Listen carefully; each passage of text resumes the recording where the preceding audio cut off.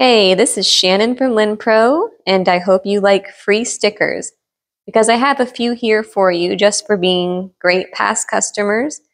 Thank you for the opportunity to make these stickers, and I hope in the future that you'll come to Lynnpro for all your other promotional needs. Thank you.